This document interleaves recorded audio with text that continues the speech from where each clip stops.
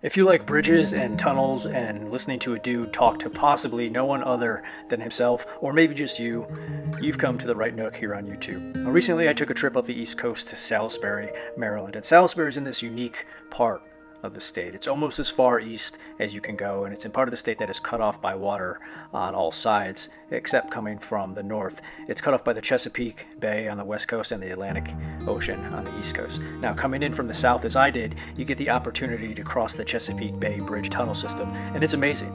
It's a remarkable man made wonder, and it's truly a must drive over and through experience if you're ever in the area.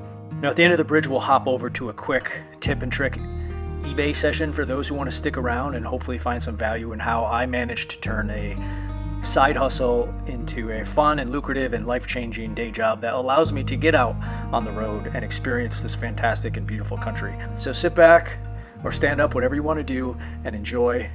I'll interrupt your calming music and peaceful state with a few fun facts about the bridge as we drive over it together.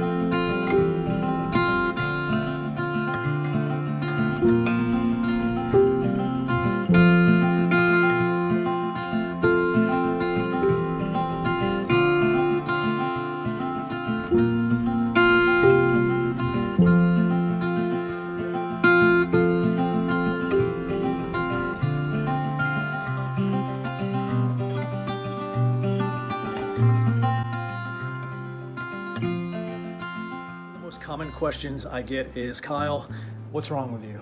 As a reseller, one of the most common questions I get is, what do I sell? Quick answer is I sell anything that I can make money on. Longer answer would be I sell anything that I can make money on that I also enjoy selling. Uh, I sell toys, clothes, tools, games, both video games and board games, small electronics, sports equipment. Makeup is always really good. I don't know much about antiques. I don't care about antiques. I don't I don't care to learn about antiques. Cars, houses, like, but I'm not interested in that. What I'm interested in is small items that are easy to manage and ship and store, like on shelves in these racks behind me. Small, simple stuff.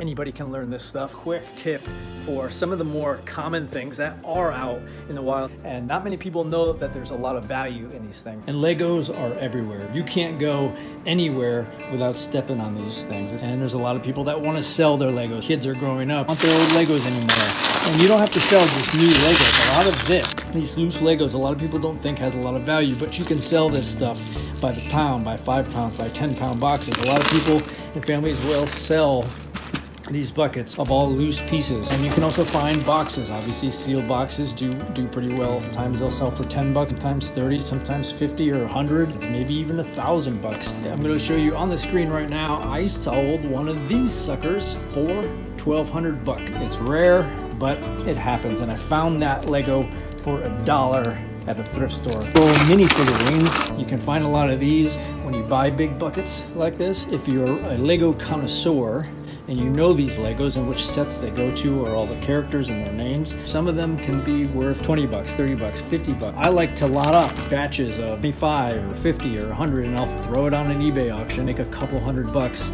just selling these little dudes. Ink cartridges, even if they are expired, they still have value. If it's just a year or two or three out uh, past the expiration date, you can still sell them on eBay. You can still get 50 to 60% of new value even for old, retired, and expired. A lot of people even throw these out or get rid of them at lawn sales or get them for 50 cents or a dollar. Inks will still go for, even just like this, even if this were expired, you could get 15 bucks out of it. You can get 25, 50, even $75 for some of these things and you only have to pay a dollar or two. They're just two super simple, small things that you can find out in the wilds of garage sales and thrift stores that usually sell really well and you can usually buy for really cheap. Send me questions, let me know what you want to know, and I will see you next time